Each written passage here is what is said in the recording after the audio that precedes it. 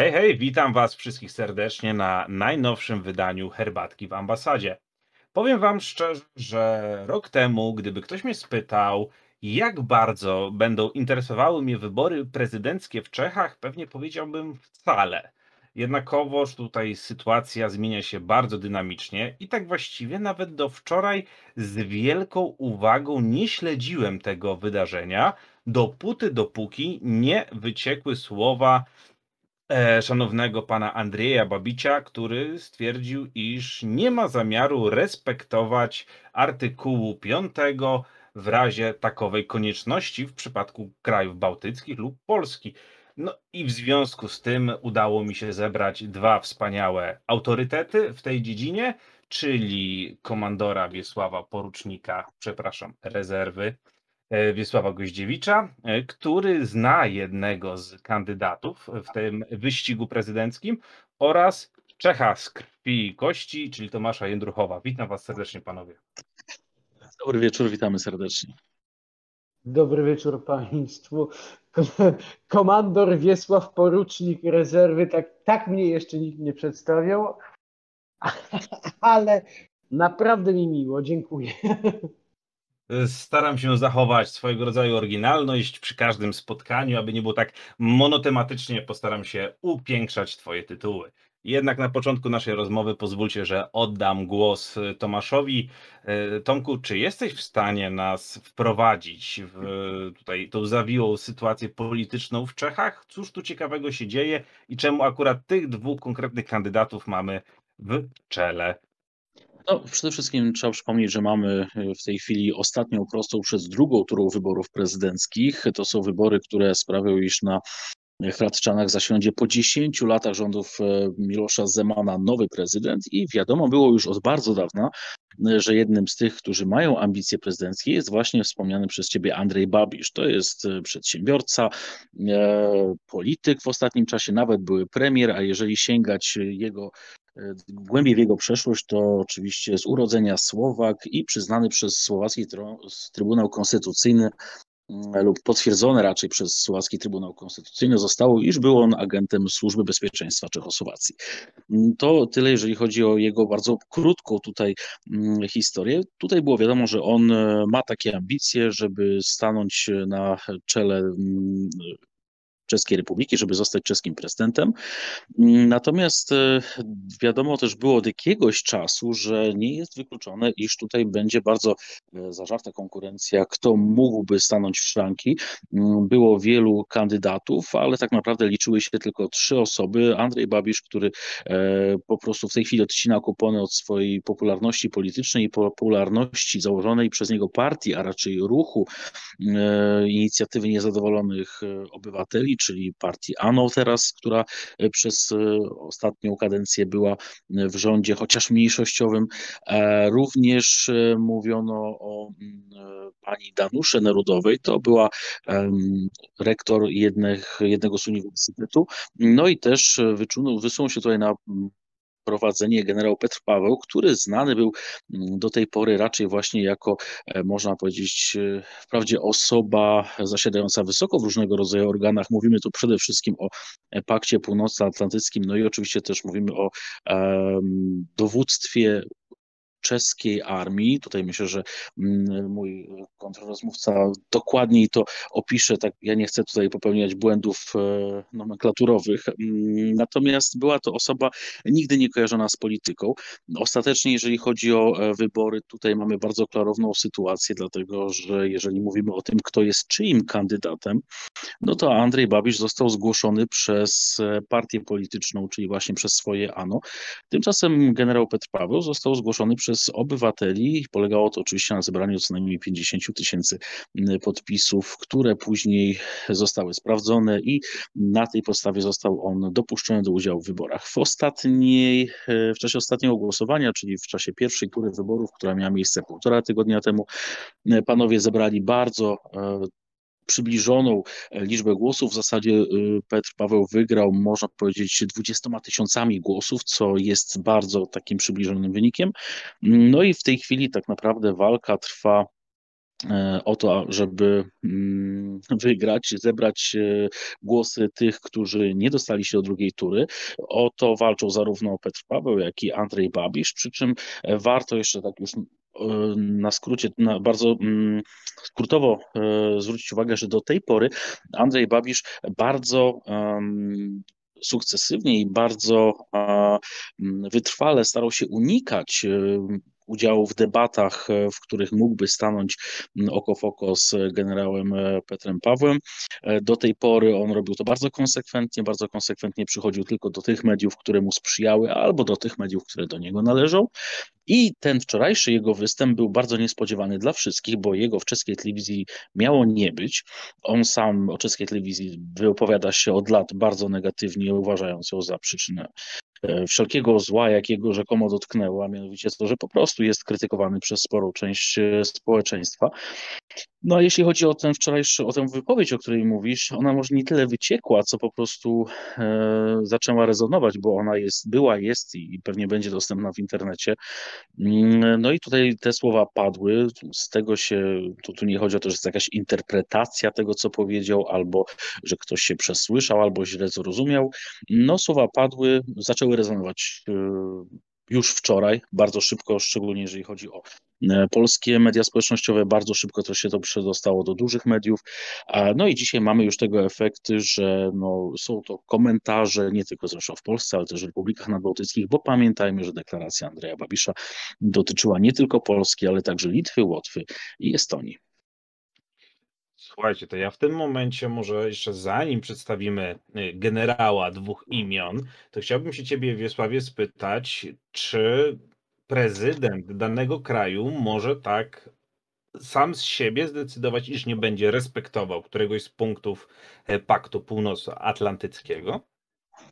Decyzje na forum e, Rady Północnoatlantyckiej zapadają w drodze konsensusu i to w zależności od tego, czy Rada Północnoatlantycka zbiera się w formacie ministrów obrony, ministrów spraw zagranicznych, szefów rządów czy głów państw, może być, e, może dojść do sytuacji, w której oczywiście prezydent Republiki Czeskiej jako nominalna, jak mniemam, e, bo nie jestem ekspertem od czeskiej konstytucji, głowa państwa będzie wyrażała e, stanowisko Republiki Czeskiej na forum Rady Północnoatlantyckiej, aczkolwiek podobnie jak w Polsce, mniemam, że w Czechach również nie ma takiej możliwości, żeby prezydent wyrażał swoje osobiste poglądy na jakimkolwiek forum międzynarodowym, zwłaszcza jako reprezentant Republiki Czeskiej, bo w Polsce tak naprawdę za kształtowanie polityki zagranicznej odpowiadają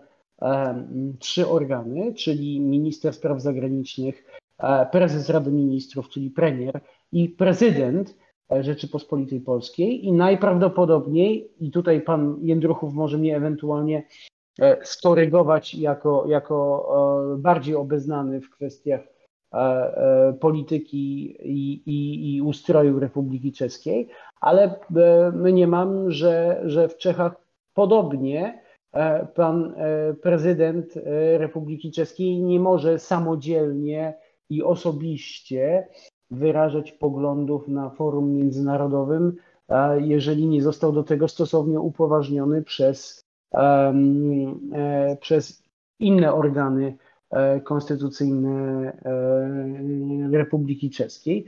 Aczkolwiek teoretycznie można wyobrazić sobie sytuację, w której głowa państwa na, dla przykładu prezydent, na, na forum Rady Północnoatlantyckiej mm, mm, przerywa tak zwaną, e, czy łamie tak zwaną procedurę ciszy i, i nie uniemożliwia e, podjęcie decyzji e, w drodze konsensusu, aczkolwiek e, jeżeli chodzi o kwestię inwokacji artykułu 5 Traktatu Północnoatlantyckiego, E, to, musiałby być, to musiałaby być wyjątkowo mm, kontrowersyjna, niejasna i e, powiedzmy, że e, balansująca w obrębie szarej strefy sytuacja, żeby do takiego konsensusu w Radzie Północnoatlantyckiej nie doszło. przypominając jednocześnie, że w historii Sojuszu Północnoatlantyckiego inwokacja artykułu 5 nastąpiła dotychczas tylko raz. Tomaszu, w takim razie proszę powiedz nam, czy gdziekolwiek domniemania e, Wiesława różnią się od rzeczywistości, jeśli chodzi o prawo czeskie? Dokładnie jest tak, jak pan generał powiedział. Ja tylko dodam jedną rzecz. To, co różni stanowisko czeskiego prezydenta od polskiego, jest to, że czeska konstytucja była ja to zawsze tak wypominam, napisana trochę pod Wacława Hawla, bo Czesi wtedy wierzyli, że wszyscy kolejni prezydenci będą ludźmi szlachetnymi. Miloš Zeman nam udowodnił, że wcale tak być nie musi.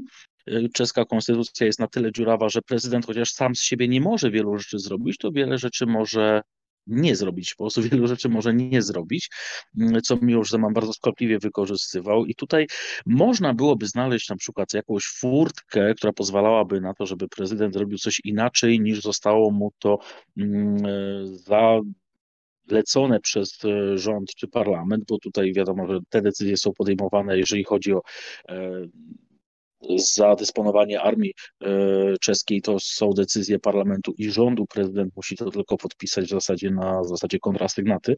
Mm, mówię, tu jest obawa, która wynika z tego, że przez 10 lat Miłosz Zeman pokazywał, jak bardzo dziurawe jest czeskie prawo i jak łatwo jest e, wykorzystać jego niedociągnięcia. Chociaż e, tutaj mówimy cały czas, spekulujemy o czymś całkowicie um, E, potencjalnym, bo nawet sam Andrzej Babisz, jeżeli była mowa o piątym artykule, bo on oczywiście bardzo szybko odniósł się do swoich własnych słów i chociaż e, z tych słów się nie wycofał, to bardzo szybko rzucił coś innego, że piąty artykuł oczywiście trzeba e, wykonywać i co do tego nie ma żadnej dyskusji, co do tego nie ma żadnej wątpliwości. Więc oczywiście tutaj też jest świadomość tego, że mm, to, co zostało powiedziane, jest raczej na użytek polityki wewnętrznej, no ale myślę, że do tego dojdziemy za chwilę. No właśnie, słuchajcie, to czy mógłbym was prosić, abyście przedstawili mi wspólnie postać e, Petra Pawela e, i jeśli mogę prosić, e, Wiesiu, tym razem ciebie jako pierwszego, byłbym wdzięczny, ponieważ o ile dobrze pamiętam naszą wczorajszą rozmowę, miałeś okazję poznać go osobiście. Tak jest, miałem okazję i no, muszę powiedzieć, że mam o nim jak najlepsze mniemanie, przynajmniej z perspektywy stricte wojskowej, e, bo mm, pamiętam go jako przewodniczącego Komitetu Wojskowego e, NATO, przewodniczącego e, o tyle skutecznego, że tak naprawdę nie przypominam sobie za jego kadencji czyli mm, między 2015 e, a 2018 rokiem, żeby e, na forum Komitetu Wojskowego NATO dochodziło do jakichkolwiek poważniejszych kryzysów, spięć czy nieporozumień. I tutaj można nie, nieco anegdotycznie, nieco metaforycznie odnieść się do sytuacji, w której pan e, generał Paweł przekazywał stanowisko przewodniczącego Komitetu Wojskowego NATO swojemu następcy, panu e, Air Marshal, to jest odpowiednik generała broni e, w Królewskich Siłach Powietrznych Stewartowi Pitchowi, przekazując mu ten taki e, m, mm, słynny młotek, taki jak e, e, przyzwyczajeni jesteśmy oglądać na, na, na salach sądowych, zwłaszcza w amerykańskich serialach, mówiąc, że przez całe trzy lata e, używał cały czas tego samego młotka i oddaje go w stanie nienaruszonym, czego nie dało się powiedzieć o jego e, e, poprzedniku, duńskim generale Knudzie Bartelsie, który przynajmniej wedle słów pana generała Pawla w trakcie swojej kadencji złamał czy zniszczył trzy takie młotki. Mm, Więc e, takich sytuacji za kadencji pana generała e, Pawla w Komitecie Wojskowym NATO e, nie było i nie przypominam sobie, żeby e, w jakiś e, szczególnie mm, e, ekscesywny sposób musiał tego swojego atrybutu no, władzy w cudzysłowie, ponieważ, ponieważ jako przewodniczący Komitetu Wojskowego jest tylko e, przewodniczącym i tak naprawdę podobnie jak, jak w Radzie Północnoatlantyckiej w Komitecie Wojskowym NATO decyzje również zapadają w drodze konsensusu, więc raczej kieruje pracami Komitetu Wojskowego niż, niż, e, e, niż im przewodniczy. Aczkolwiek faktycznie znany był z tego, że był, e, e, że był dość skutecznym e, przewodniczącym w tym sensie, że nie nastręczało e, mu e, wielkich te, trudności. Osiągnięcie tego konsensusu na, na forum Komitetu Wojskowego, e, co być może można e, e, przypisać jego e, wcześniejszej karierze e, wojskowej, e, której zdecydowaną większość spędził w, na różnych stanowiskach w wywiadzie e, wojskowym e, Czechosłowacji, a potem e, Republiki Czeskiej. Ale pamiętajmy też o tym, że przez pewien okres czasu był dowódcą czeskich sił specjalnych, a z tak zwanego wojskowego wykształcenia jest spadochroniarzem, a za swoją dość brawurową akcję w Jugosławii mm, został odznaczony francuską Legią Honorową e, w 2012 roku, a podczas tej akcji udało mu się, e, to znaczy żołnierzom pod jego dowództwem, udało się e, wydobyć z okrążenia francuski e, pododdział e, otoczony przez e, serbskie oddziały paramilitarne e, w chorwackiej e, krainie. E, To miało miejsce, o ile mnie pamięć nie myli, w 90, 1993 roku, czyli jeszcze podczas misji UNPROFOR e, w e, byłej Jugosławii, ale w 2012 roku za ten wyczyn doczekał się pan generał Paweł e, odznaczenia e, francuską Legią Honorową, która jakby nie patrzeć jest najwyższym francuskim e, odznaczeniem. Więc no, skuteczności nie można mu odmówić również jako, jako dowódcy. Aczkolwiek kariera wojskowa w, znacznej mierze przebiegająca w, na różnych stanowiskach w wywiadzie wojskowym, w tym jako mm, attaché e, e, obrony e, w czeskiej, przepraszam, attaché lotniczy w czeskiej ambasadzie w Brukseli. No, mm, mm, chyba nie, nie, nie trzeba nikomu mówić, że, że ataszaty są bardzo często tak naprawdę oficjalną przykrywką dla, dla funkcjonowania komórek wywiadu w obcych państwach.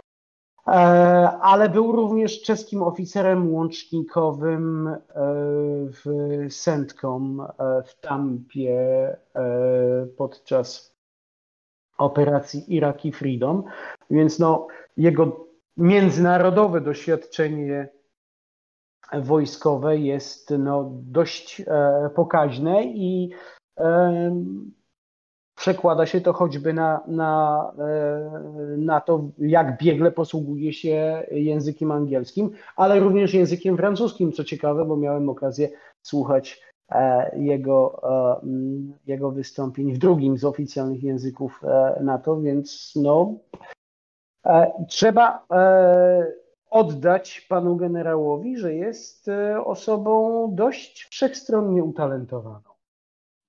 Czyli mamy wszechstronnie utalentowanego, wybitnego żołnierza oraz dowódcę. Pona- Ponadto no, mam wrażenie, że jest to osoba, przynajmniej patrząc po jego kilku pierwszych zdjęciach, niczym James Bond, o ile nie jakaś postać z gry komputerowej, więc charyzmu też się wyróżnia. Tomaszu, a powiedz mi proszę, jak go widzą przeciętni obywatele Czech? Zresztą może też jesteś w stanie to rozwinąć i powiedzieć mi, jak go widzi środowisko dziennikarskie w Czechach? Rzeczywiście, tak jak e, powiedział pan Wiesław, e, to są ogromne osiągnięcia, ale one dotyczą czasu, kiedy e, generał Petr Paweł był w wojsku. No i nie czarujmy się, podobnie jak większość Polaków, mierne ma pojęcie na temat meandrów polskiej armii, tak bardzo podobnie to wyglądało w Czechach. I generał Paweł tak naprawdę zaczął być rozpoznawalny dopiero kiedy przeszedł w stan spoczynku, czyli po 2018 roku.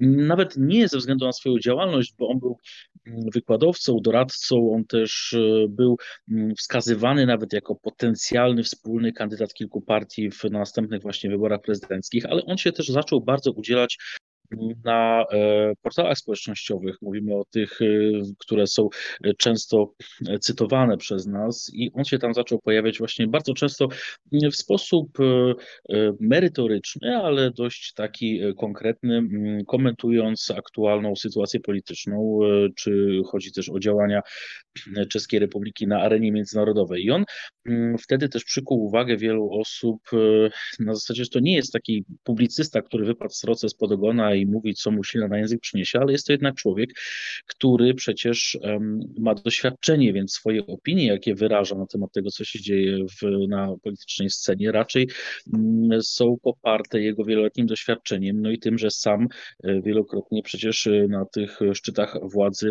e, miał okazję się znajdować, chociaż w zupełnie innym charakterze niż zazwyczaj jesteśmy przyzwyczajeni. No i tu jeszcze należy pamiętać o jednej rzeczy, mianowicie ostatnie 10 lat e, prezydentury Milosza Zemana, o którym ja zawsze mówię, że oczywiście politykiem on jest wybitnym, natomiast e, nie przeszkadza mu to również być po prostu prostakiem w swoich wypowiedziach, w swoich deklaracjach, w swoich bardzo często mm, działaniach podejmowanych, mm, nie tylko na tym forum swoim prezydenckim, ale bardzo często w tym, co wielokrotnie wypowiadał pod adresem czy to konkretnych osób, czy nawet całych narodowości. E, jest bardzo duże oczekiwanie narodu społeczeństwa czeskiego e, zmiany na tym stanowisku. I tutaj mm, nagle się okazało, że Petr Paweł może zaproponować właśnie e, coś takiego, e, co może zapewnić przede wszystkim spokój. On nigdy nie obiecywał rzeczy niemożliwych, tak jak inni kandydaci, którzy mówili, że albo odwołają rząd, do czego prezydent za bardzo nie ma pełnomocnictw, albo jak Andrzej Babisz obiecywali, że nie będą wciągać y, Czech do walki, chociaż nikt w ogóle do, do wojny, chociaż nikt tego nie deklarował. No i okazało się, że y, Petr Paweł, który mm, wiosną, właściwie początkiem lata 2022 roku zadeklarował, że będzie startował w wyborach prezydenckich, y, okazał się taką bardzo dobrą i ciekawą inicjatywą dla innych kandydatów, przede wszystkim właśnie też bardzo taką charakterystyczną, bardzo taką odróżniającą się, e, co z kolei zyskało ogromne poparcie ja użyję tego słowa, które nie jest najlepsze, ale powiedzmy no celebrytów, bo się okazało, że zaczęli go popierać ludzie kultury, sztuki, nauki, również e, politycy. Ta lista osób, które go e, popierały, zaczęły wyrażać swoje poparcie dla niego, ona z każdym oczywiście miesiącem rosła. No i aż do ostatnich tygodni przed pierwszą e, turą wyborów, dlatego że to się okazało, że to może być rzeczywiście taka mm, bardzo interesująca zmiana i nowa jakość na e, czeskiej scenie politycznej. No i przede wszystkim e, przeciwieństwo do dotychczasowego prezydenta Milosza Zemana, czyli ktoś, kto rzeczywiście przywróciłby godność temu urzędowi, bo tak naprawdę to jest główne hasło wyborcze generała Pawła. Okej, e, a powiedz mi proszę taką sprawę, jeśli chodzi o e, samo pochodzenie, czyli wywodzenie się z wojska, czy to nie stanowi jakiegoś problemu dla szerszej opinii publicznej? Tu nie ma jakiegoś ryzyka, że nagle pójdziemy w militaryzm, albo stanowi to dla nas jakieś tam zagrożenie? Jak ludzie to odbierają, że nie jest to rasowy polityk, a generał? Dobrze, to ja odbiję piłeczkę i zapytam, e, czy nie będzie nam przeszkadzać to, jako Czechom, że prezydentem zostanie przedsiębiorca, który jeszcze był agentem e, komunistycznej służby bezpieczeństwa, który, e, którego jedynym sukcesem jest to, że był premierem rządu mniejszościowego i chociaż nie ma nic wspólnego z dyplomacją, to na wszystkich billboardach mówi o sobie, że jest dyplomatą. Jeżeli odwrócimy to pytanie, to masz odpowiedź na to pytanie. E, ani zwolennikom Andrzeja Babisza, ani Petra Pawła te kwestie nie przeszkadzają. No, Więc... zwłaszcza, że, zwłaszcza, że biorąc pod uwagę e, przeszłość e, pana generała Pawła jako, jako członka czeskiej komunistycznej e, partii, e, jeszcze w czasach wczesnej e, kariery wojskowej.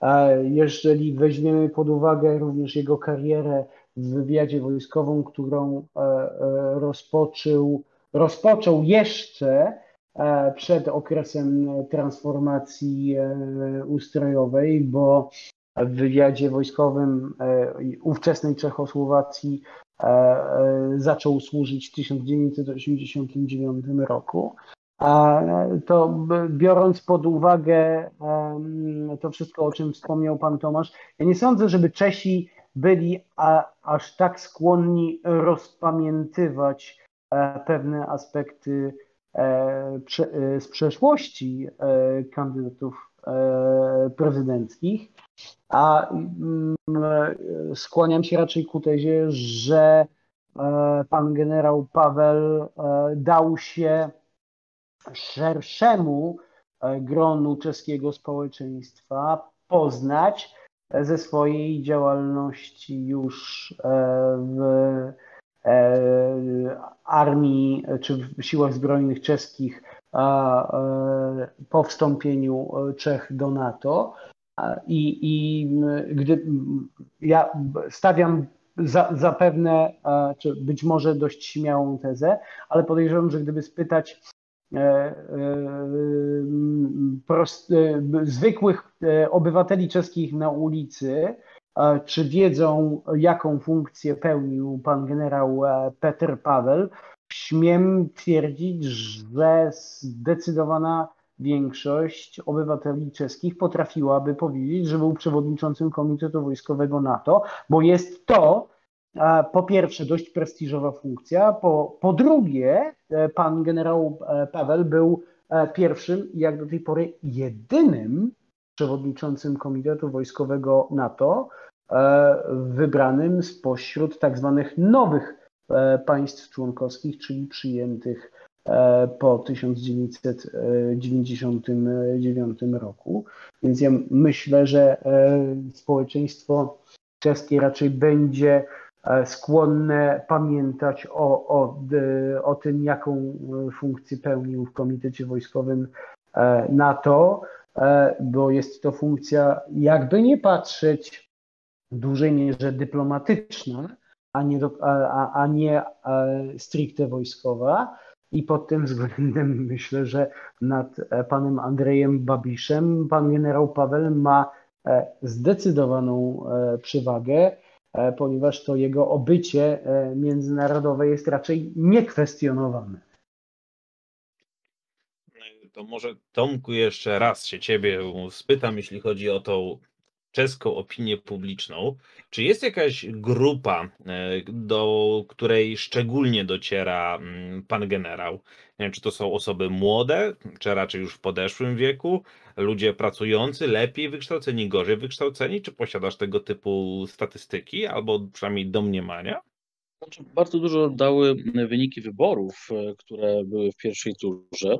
E, mówię pierwszej turze, tu, przepraszam, bardzo dużo informacji dała, dały nam wyniki pierwszej tury wyborów. Tutaj widać było ewidentnie, że jeżeli chodzi o osoby, które głosowały, tutaj chodzi oczywiście o lokalizację wyborców, o to, gdzie oni mieszkają.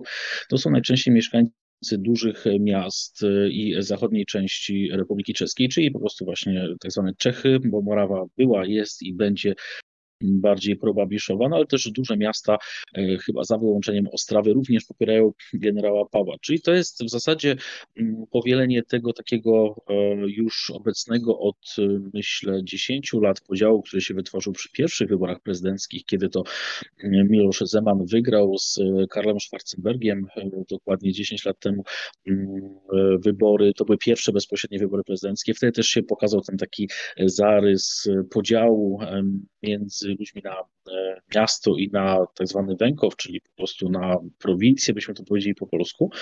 No i tutaj rzeczywiście generał Paweł jest bardziej e, wybierany, częściej wybierany przez mieszkańców tych wielkich miast. Tutaj trudno mówić o tym, jak jeżeli chodzi o grupy e, wiekowe, dlatego że to się rozkłada dość, e, dość równomiernie. Natomiast rzeczywiście kluczowym jest też ten element, można powiedzieć, pozycji finansowej danego wyborcy, ponieważ tutaj raczej on jest wspierany przez osoby lepiej sytuowane, chociaż e, należy też pamiętać, że Andrzej Babisz e, niechęć wielu wyborców zaskarbił sobie wieloletnim e, piastowaniem stanowiska ministra finansów, kiedy to tak naprawdę zamienił w piekło życie wielu przedsiębiorców, zwłaszcza z małych i średnich przedsiębiorstw, który e, również później jako premier wielokrotnie doprowadzał do ruiny wiele gospodarstw rolnych. E, dlatego też trudno w tym momencie na przykład jasno deklarować, które mm, grupy społeczne wspierają bardziej którego polityka, ale te wyniki, które zostały opublikowane, opublikowane półtora tygodnia temu, te oficjalne oczywiście bardzo wyraźnie pokazują ten podział na tak zwane właśnie wielkie miasta, no i tę prowincję. Wiesiu, to w takim razie jeszcze jedno pytanko do ciebie, zanim przejdziemy do wieńczenia naszej rozmowy, bo mam wrażenie, że tutaj stworzyliśmy jakiś e, straszny obraz e, pana generała i musimy go koniecznie w jakiś sposób ocieplić, więc e, może jesteś w stanie rozwinąć wczorajsze swoje sformułowanie, iż jest fanem złocistego trunku. E, no, niewątpliwie i, i nawet w trakcie e, aktualnej kampanii kilkakrotnie dał się e, sfotografować w towarzystwie kufla wypełnionego owym, owym trunkiem.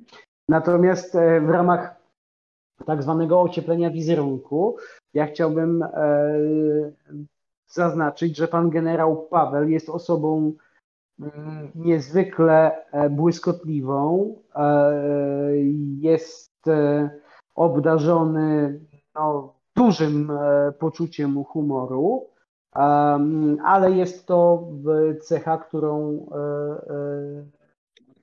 legitymują się, legitymuje się wiele osób obdarzonych nieprzeciętną inteligencją, a do takich ewidentnie pana generała Pawła należy zaliczyć. E, nie znam oficjalnych wyników e, jego testów na inteligencję, aczkolwiek z tych moich krótkich interakcji z nim, z wypowiedzi, których udzielał publicznie jako przewodniczący Komitetu Wojskowego, dla mnie no jednoznacznie E, wyziera obraz osoby obdarzonej e, ponadprzeciętną e, inteligencją i być może stąd też jego trochę uszczypliwe, co prawda, ale, ale celne poczucie humoru, a to, że gustuje w mm, złocistym trunku, to mm, podejrzewam, e, tylko przysparza mu e, zwolenników e, w ojczyźnie będącej, jakby nie patrzeć, również krajem pochodzenia gatunku piwa powszechnie znanego na świecie jako Pilsner i niesłusznie moim zdaniem nazywanego przez anglosasów lager, ale tu już może głos oddam ekspertowi, panu Tomaszowi. Tomaszu. Pamiętajmy, że Czesi mają zupełnie inne podejście do tych kwestii niż Polacy. Widziałem wiele komentarzy na Twitterze, że oj, oj, oj, gdyby u nas w pociągu otworzył piwo, zaraz sok by mu nałożył mandat. Tymczasem w czeskich pociągach piwo jest normalnie w karcie i to nikogo nie dziwi, a pewnie nikt z Polaków nie zauważył, że kilka lat temu odbyła się ogromna kampania e, legislacyjna, która miała doprowadzić do tego, żeby najtańszy napój bezalkoholowy nie był tańszy niż piwo, bo było czymś normalnym, że w czeskiej hospodzie piwo było tańsze niż woda. Więc to jest oczywiście dla nas z punktu widzenia mm, polskiego widza, odbiorcy coś e, jako, można powiedzieć, takiego egzotycznego, e, właśnie ocieplającego wizerunek. Tutaj jest to traktowane całkowicie normalnie. Ja bym na coś innego zwrócił uwagę, na to, jak kampania była prowadzona. To znaczy, z jednej strony mieliśmy, mówimy teraz o tej drugiej turze, czy mamy, bo to jest ciągle jeszcze przed nami cztery dni do drugiego głosowania. Mamy generała Pawła, który w zasadzie e, nie składa pustych obietnic, bo to jest chyba jeden z niewielu kandydatów, który nie obiecywał rzeczy, których prezydent zrobić nie może. E, praktycznie natychmiast reaguje nie tylko na e, nieprawdziwe informacje podawane przez Andrzeja Babisza, ale też wcześniej, jeżeli mówiliśmy o innych kandydatach, jeżeli zdarzało się, że oni podawali nieprawdziwe informacje albo czynili bezpodstawne zarzuty, on to bardzo szybko korygował. I w zasadzie nie ma z jego strony żadnej kampanii negatywnej, właśnie tej, tego czarnego PR-u, e, który w dokładnie odwrotnych proporcjach stosuje mm, były premier Andrzej Babisz, e, dlatego że jeżeli popatrzymy na billboardy generała Pawła, to najczęściej przemawia z nich właśnie coś takiego. Wracamy mm, godność temu urzędowi, e, doświadczenie powinno zdecydować, doświadczony człowiek na odpowiedzialnym miejscu i tak dalej, i tak dalej. Natomiast w ostatnich e, tygodniach, a szczególnie dniach, większość kampanii Andrzeja Babisza koncentruje się na atakowaniu generała Petra Pawła. I tutaj ja sobie pozwolę na jeszcze krótki komentarz, żebyśmy zamknęli klamrą to, od czego zaczęliśmy, czyli ta wczorajsza wypowiedź.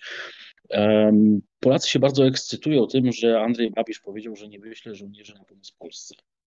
Tylko, że e, Polacy się ekscytują z tego powodu, że nie znają kontekstu, a Czesi podeszli do tego e, w bardzo spokojny sposób. I widziałem bardzo wiele komentarzy, które mówią w zasadzie jedno. Andrzej Babisz, ponieważ jeżeli ktoś oglądał tę debatę, w której Andrzej Babisz wypowiedział te słowa, to można odnieść wrażenie, że on za bardzo nawet nie wiedział, na jakie pytanie odpowiada i nie bardzo rozumiał, co prowadzący chce od niego usłyszeć bo prowadzący po tym stwierdzeniu jeszcze raz go poprosił o powtórzenie, on doprecyzował to pytanie, bo chyba prowadzący sam też nie bardzo uwierzył w to, co usłyszał.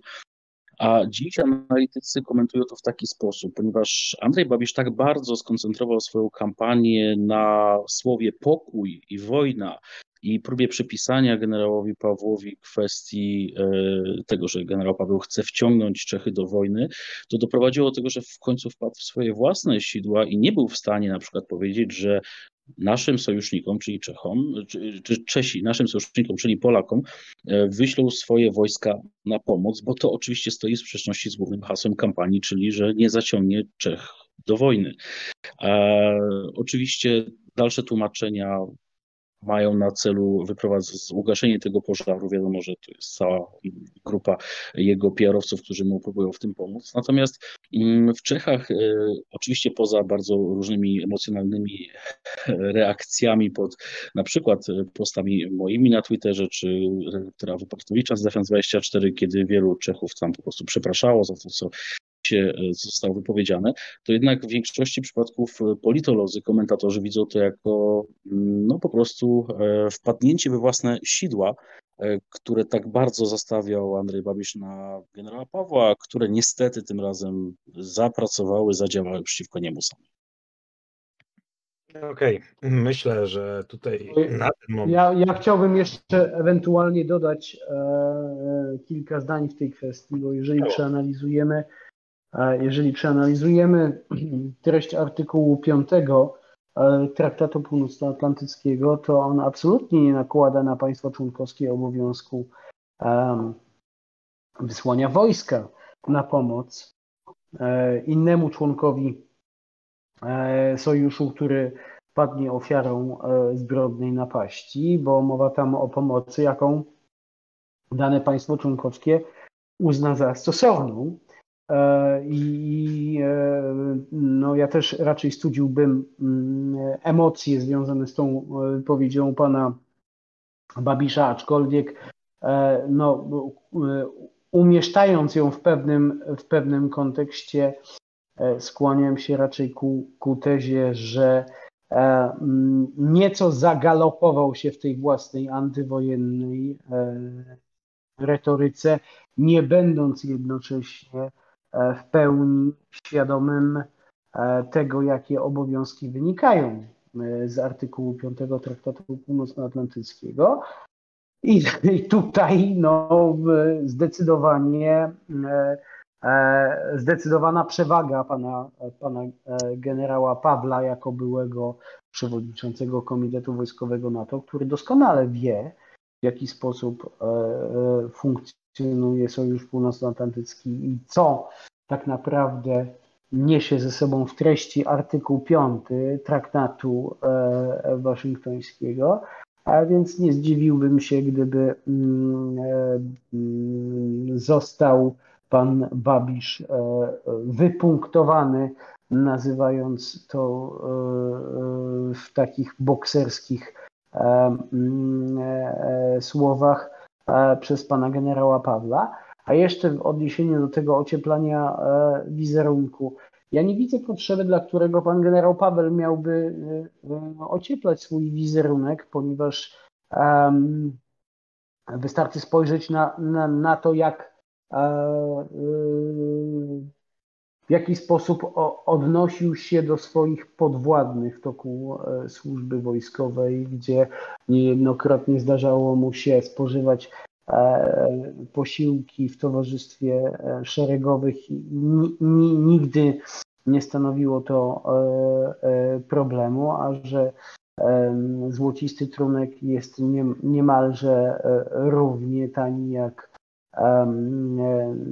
napoje bezalkoholowe w Czechach, to akurat nie powinno dziwić.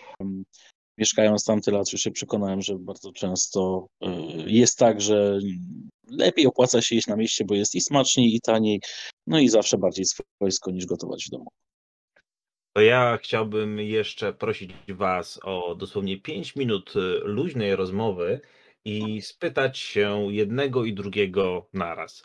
Co waszym zdaniem oznacza dla Polski oraz dla Europy zwycięstwo w wyborach prezydenckich e, Petera e, Pawela? To zaczyna? Który Może się wyrwie pierwszy, zapraszam. Pan Wiesław, oddaję głos. Dobrze, więc e, ja mogę powiedzieć ze swojej nieco spaczonej wojskowej perspektywy, uważam, że że e, zwycięstwo pana, pana generała e, Pawela czy Pawla, przykro mi, nie, nie, nie jestem e, biegły w języku czeskim, nie wiem jak to nazwisko odmieniać prawidłowo, aczkolwiek uważam, że jego zwycięstwo będzie tak naprawdę oznaczało umocnienie Czech w strukturach Sojuszu Północnoatlantyckiego, nawet biorąc pod uwagę te ograniczone prerogatywy, jakie ma e, prezydent e, e, Republiki Czeskiej, no bo będą sytuacje, w których Rada Północnoatlantycka będzie się zbierała w formacie głów państw, gdzie reprezentantem Republiki Czeskiej będzie jej prezydent. No i e, w takim formacie oczywiście e, reprezentacja pana generała e, Pawła będzie z mojej spaczonej wojskowej perspektywy zdecydowanie bardziej kompetentna niż mogłaby nią być reprezentacja pana Babisza. I to nie chodzi tylko o doświadczenie wojskowe pana generała, ale o doświadczenie dyplomatyczne. I tu e, nie tylko kwestia jego funkcji jako atasze lotniczego e, w Brukseli, ale właśnie przede wszystkim jako przewodniczącego Komitetu Wojskowego NATO, która to funkcja dała mu możliwość i okazję um, zobaczenia, e, przeanalizowania i poznania mechanizmów, e, którymi rządzi się Sojusz Północnoatlantycki na tym szczeblu polityczno-strategicznym od tak zwanej kuchni i to niekoniecznie kuchni czeskiej.